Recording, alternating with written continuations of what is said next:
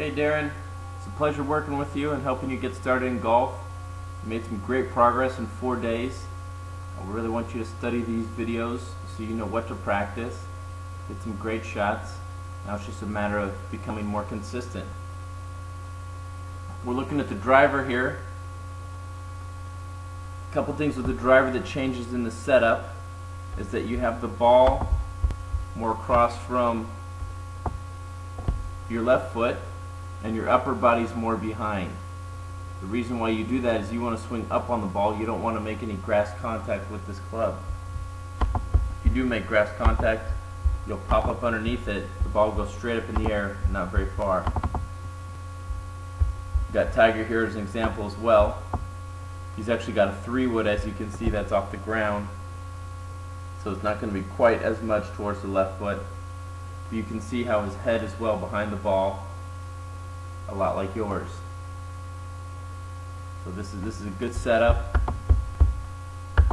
From there, it's just a regular golf swing, but since you have the ball across on the inside of your left foot and your upper body, your sternum and your head's behind the ball, that will encourage swinging up on it, and you'll hit a good shot.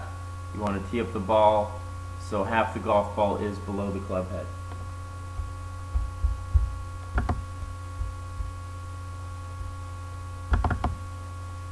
So this is the iron shot.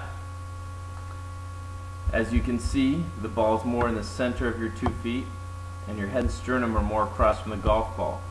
This setup will encourage more of a downward strike, which you want anytime the ball is on the grass. You can see how you can see the back of your left hand. That's a good sign. You can see a little bit of the logo of the grip. If you start hitting golf balls to the right, you need to turn your left hand so you can see more logos, more of the logo on your grip, which would be turning the hand to the right. Okay, so the fundamentals we worked on in your swing focused around two things that really helped you do very well. One is keeping your head still. Not necessarily keeping your head down, because the head does come up because you want to be able to see the shots. But keeping the head still on the backswing is so important. We don't want to see it go up, and we don't want to see it go slide to the right. The other thing we wanted to see was wrist hinge on the backswing. So I really like this setup, weight 50-50, feet shoulder width apart, hands slightly ahead of the golf ball. This looks good. Let's see how you do.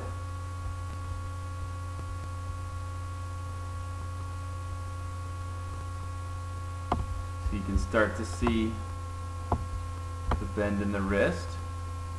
Looks pretty good. It could be bent a little bit more. That angle could be closer to 90 or even less than 90.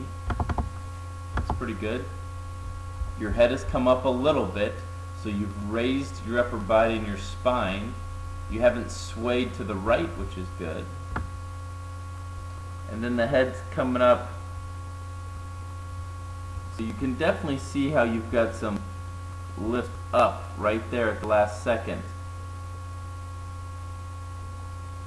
Really good job with the wrist hinge at the top.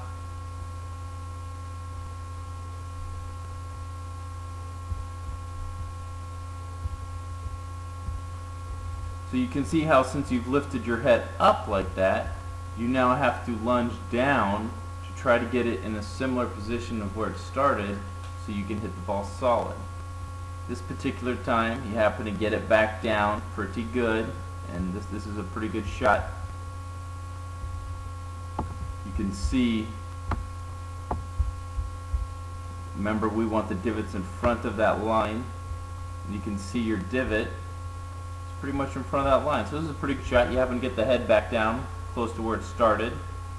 But if you want to be consistent, hit 7 out of 10 good shots, you really want to work on keeping that head there the whole time. A good way to do that is cross your arms, put a club over your shoulder, work on turning your body back and through while keeping your head the same level. So great wrist hinge. You did one of the two things we're looking for. And then obviously it'll come up at the end. And take a look at take a look at Adam Scott. He's currently the whoops. Sorry about that. Adam Scott's the I think he's ranked number two right now in the world. Second best player in the world. Take a look at his head and his wrist hinge. Oh, the camera moved. Let me do that again real quick.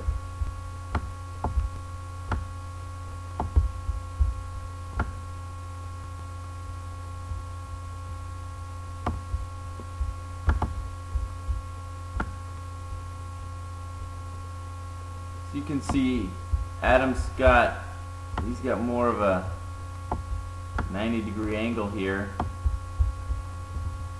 I don't mind that your left arm is bent a little bit. That that's okay. But the wrist angle isn't quite as sharp. Now that's much better than what you used to do. But you could sharpen that up a little bit and get a little bit more wrist angle. But take note how still Adam Scott kept his head in that backswing. I mean, that's just unbelievable. So you can see how you're, you're a little off there. Okay, so in the full swing, working on wrist hinge and keeping the head very still.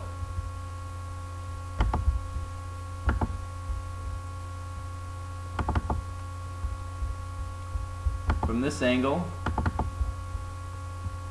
look at the same stuff you're working on, which is wrist angle and so one thing we talked about is, is a little bit less knee flex and more upper body over. You can see Adam Scott, you're a little bit more, you don't quite have as much of an angle. So less knee flex, butt out, upper body a little bit more over.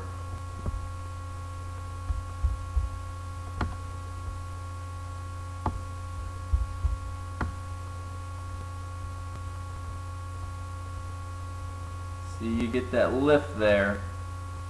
So you're good, you're good. Starting to get the Harrisons, then you get the lift. Your arms look good, and the upper body's turning. That's all good. But you've really lifted up quite a bit. So if you were to swing down from that position, you totally miss the ball. So you've got to lunge down and try to find the same position you started a downswing that lasts less than half a second. Very difficult at the time. You can look at Adam Scott.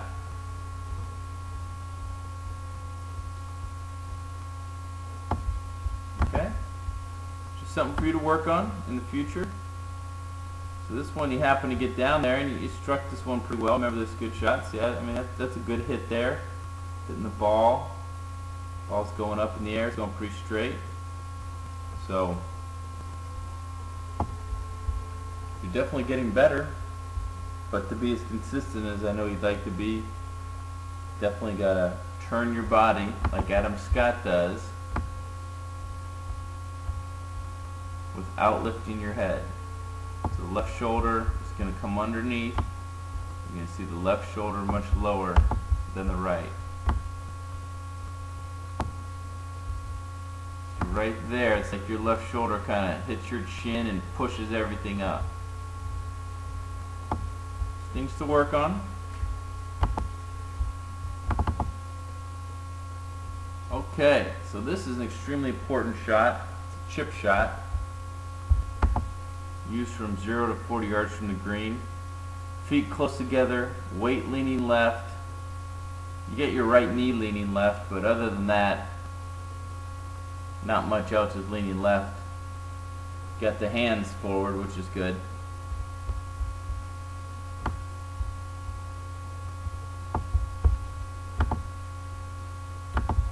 So, good setup here. It's not bad leaning left. So feet close, leaning left, choking up on the club, standing the club a little bit more vertical, standing a little closer. So I really like where the hands are at the moment. I'm going to put a circle on the hands because I would like to see you hit the ball as the club head strikes the ball in the exact same place. I don't want the hands to be back. I want them to be forward. The hands lead the club head.